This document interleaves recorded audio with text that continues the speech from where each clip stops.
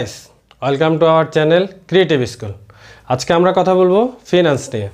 ফিনান্সের নবম অধ্যায় যারা এসএস এইচএসসিতে আছো, তাদের নবম অধ্যায় আছে একটা অধ্যায়, ঝুঁকি ও মুনাফার হার। আজকের ক্লাসটা ক্লাস নাইন এইচএসসি এবং হচ্ছে যারা প্রথম বিবিএ করতেছো বিবিএ ফার্স্ট সেমিস্টারে আছো, তাদের জন্য খুবই গুরুত্বপূর্ণ। আজকের ক্লাসটার মাধ্যমে আমরা ঝুঁকি ও মুনাফার হারের যে বেসিকটা আছে, আমরা সেই বেসিকটা আজকে জানব। ওকে, ঝুঁকি ও মুনাফার হার বুঝতে হলে আমাদের প্রথমে বুঝতে হবে ঝুঁকি কি। ঝুঁকি হচ্ছে কোনো কিছু প্রত্যাশা যতটুক করেছ, আর প্রাপ্তি যতটুক ওই প্রত্যাশা এবং প্রাপ্তির মাঝখানে যে বিচ্যুতির যা বা ফারাকটা, সেটাই হচ্ছে ঝুঁকি। ঝুঁকি পরিমাপ করা যায়। বা ঝুঁকির সাথে সাথে আমাদের কি শিখতে হয়? অনিশ্চয়তা শিখতে হয়। কারণ হচ্ছে অনিশ্চয়তা পরিমাপ করা যায় না। আচ্ছা ঝুঁকি ও মুনাফার হারে আমাদের যে সূত্রগুলো শিখতে হবে, এই সূত্রগুলো আমরা এখানে দিয়ে দিয়েছি। আমরা প্রথমেই দেখো, দিয়েছি মুনাফার হার। প্রথমে আমরা শিখব কি? মুনাফার হার।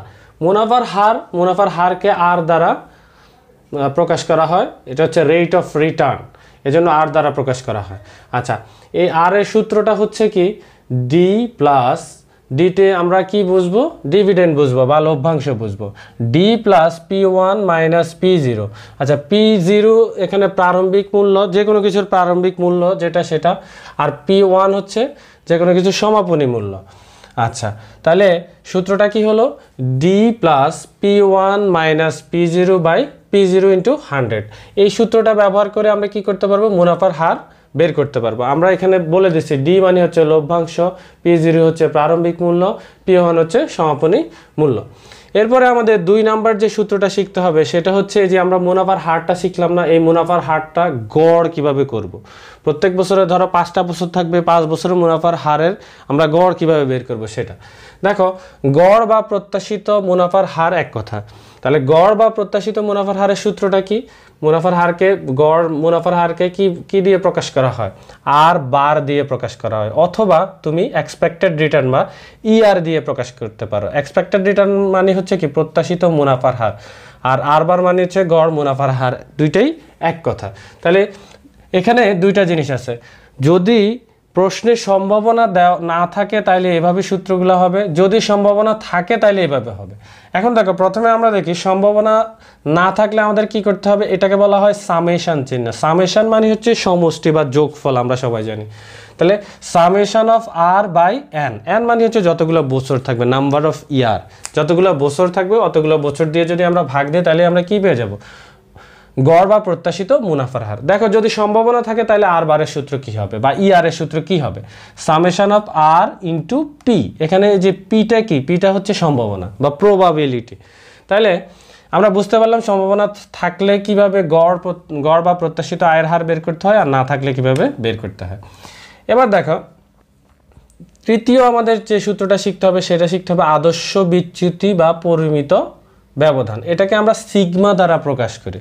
তাহলে এই সূত্রটা আগে আদর্শ বিচ্যুতিটা বুঝতে পারে, বুঝতে পারি কিনা দেখে। বিচ্যুতি হচ্ছে আমি যা আশা করেছি তা যদি না পাই বা তার চেয়ে যদি বেশি পেয়ে যায়, সেটাই হচ্ছে বিচ্যুতি। আমি আশা করেছি কত? আশা করেছি দশ টাকা ইনকাম করব, কিন্তু এসেছে পাঁচ টাকা। তাহলে যতটুক, কতটুক ফারাক ছিল, সেটাই হচ্ছে বিচ্যুতি। তাহলে আদর্শ বিচ্যুতি বা পরিমিতি ব্যবধান এক কথা। এটাকে প্রকাশ করা হয় সিগমা দিয়ে। আচ্ছা এই, এখানেও হচ্ছে সম্ভাবনা থাকলে এক ধরনের সূত্র না থাকলে এক ধরনের সূত্র, থাকলে এক ধরনের সূত্র। দেখো, সম্ভাবনা যদি না থাকে, তাহলে কি হতো, এটা একটা রুট ওভার রুট ওভার এখানে কি summation of R minus R bar R R R bar ঠিক আছে? তাহলে R minus R bar whole square by N minus one N মানে হচ্ছে নাম্বার অফ ইয়ার আমরা জানি, আর মাইনাস ওয়ান দিলেই আমরা কি, এখানে আদর্শ বিচ্যুতি বা পরিমিত ব্যবধান পেয়ে যাব। এবার দেখো, যদি সম্ভাবনা থাকে, তাহলে কীভাবে করতে হবে আদর্শ বিচ্যুতি বা পরিমিত ব্যবধান? দেখো এখানে সিগমা সূত্রটা হচ্ছে root over summation of R minus R bar আমরা আর চিনি আর বারও চিনি হোল স্কোয়ার ইন্টু পি মানে হচ্ছে প্রবাবিলিটি কারণ এখানে সম্ভাবনা আছে। তো প্রবাবিলিটি শব্দের অর্থ সম্ভাবনা, সম্ভাবনা- থাকলে জাস্ট পিটা গুণ করে দিলেই হবে। তাহলে আমরা বুঝতে পারলাম আদর্শ বিচ্যুতি। এবার আসো, এই এই দুইটা দিয়ে গড় আর দুই আর তিন দিয়ে আবার কি বের করা যায়? দুই আর তিন দিয়ে চার বের করা যায়। চার বের করা যায়, চারকে বলা হয় বিভেদাঙ্ক বা সিভি। ঝুঁকি কতটুক বেশি আছে, কি আছে সেটা পরিমাপ করা যায় বিভেদাঙ্ক দিয়ে। তাকে বিভেদাঙ্ক কীভাবে বের করতে হয়? কি করতে হবে? আর বার সিগমা বাই আর বার দিলেই কি বের হয়ে যাবে? বিভেদাঙ্কটা বের হয়ে যাবে। আচ্ছা এটা গেল একটা সাইড এবার আসো, আরেকটা দিক আছে ঝুঁকির ফ্রুটফুলিও ঝুঁকি। ফ্রুটফুলিও কি আগে সেটা বুঝতে হবে। ফ্রুটফুলিও হচ্ছে ঝুঁকি কমানোর জন্য একজন মানুষ যদি তার সম্পূর্ণ টাকা ঝুঁকি কমানোর জন্য এক জায়গায় বিনিয়োগ না করে, ভিন্ন ভিন্ন জায়গায় ভেঙে ভেঙে বিনিয়োগ করে, সেটাই হচ্ছে পোর্টফোলিও ধরো তোমার কাছে দশ লাখ টাকা আছে। এখন দশ লক্ষ টাকা তুমি একসাথে বিনিয়োগ করলে সেখানে ঝুঁকি নিশ্চয়ই বেশি থাকবে। যদি লস হয় তাহলে তো লস কিন্তু যদি তুমি ভেঙে ভেঙে বিনিয়োগ করো, দুই লাখ করে পাঁচ জায়গায় বিনিয়োগ করো, তাহলে সেটাকেই বলব আমরা পোর্টফোলিও তাহলে পোর্টফোলিওর ক্ষেত্রে আয় কীভাবে বের করতে হয় আমরা জানি, আয়ের হারকে আর বলা হয়। আর পোর্টফোলিওর ক্ষেত্রে আমরা একটা ছোট পি লেগে পি দিব। পি দেওয়ার কারণ হচ্ছে পি মানে প্রবাবিলিটি তাহলে বুঝতে পারব। সরি এখানে পি মানে হচ্ছে পোর্টফোলিও তাহলে আমরা বুঝতে পারব এটা পোর্টফোলিও আয়ের হার। তাহলে কীভাবে বের করতে হয়? এটা বের করতে হবে summation of R into weight দিয়ে। এবার প্রশ্ন হতে পারে যে ভাইয়া ওয়েটটা কি? ওয়েটটা হচ্ছে কতগুলো সম্পদ আছে, সেই সম্পদকে সেটার ভার নির্ণয় করা। ভার কীভাবে নির্ণয় করতে হবে? যদি তিনটা সম্পদ থাকে তাহলে তিন দিয়ে ভাগ দিব। যদি চারটা সম্পদ থাকে তাহলে চার দিয়ে ভাগ দিব। অথবা যদি সম্পূর্ণ মূল্য যদি দেওয়া থাকে, প্রত্যেকটা সম্পদের আলাদা আলাদা মূল্য দেওয়া থাকলে তাহলে মোট মূল্যকে কি করব? মোট মূল্যকে ওই নির্দিষ্ট মূল্য দিয়ে ভাগ দিলেই ওয়েট বের হয়ে যাবে। আমরা অঙ্ক যখন করব, তখন ওয়েট কীভাবে বের করতে হয়, সেটা আমরা দেখাবো। আসো দেখো, আমরা এবার দেখব হচ্ছে পোর্টফোলিও ঝুঁকি। পোর্টফোলিও ঝুঁকিকে কি দ্বারা বলা হয়? সিগমা পি দ্বারা বোঝানো হয়।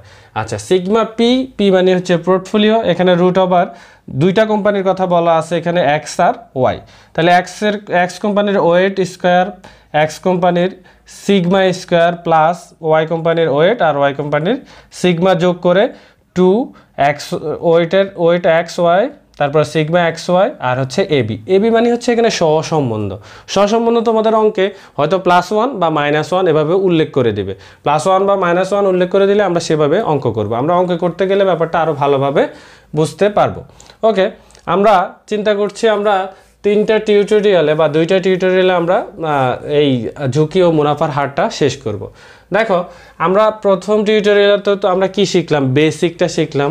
আমাদের প্ল্যান হচ্ছে আমরা দ্বিতীয় টিউটোরিয়ালে আমরা এই যে এক থেকে চার পর্যন্ত শিখে ফেলব। এরপরে বাকি টিউটোরিয়ালে আরেকটা টিউটোরিয়ালে চার থেকে পাঁচ শিখব। আর আমাদের একটা মেথড বাকি থাকবে, সেটা হচ্ছে সিএপিএম মেথড সিএপিএম মেথডটা খুবই ছোট, আমরা এইটা তৃতীয়টার সাথে আমরা সিএপিএমটা করব। আমরা ধরে নিলাম আমাদের সিএ পিএমটা তৃতীয়টার সাথে করে ফেলব। ওকে তাহলে আমরা বুঝতে পারলাম আমাদের পরবর্তী ভিডিও দেখার আমন্ত্রণ জানিয়ে পরবর্তী ভিডিওতে আমরা কি করব? পরবর্তী ভিডিওতে আমরা অঙ্ক করে বোঝার চেষ্টা করব কীভাবে এই ঝুঁকি ও মুনাফার হার নির্ণয় করতে হয়। তাহলে আজকে এই পর্যন্তই। সবাই ভালো থাকো।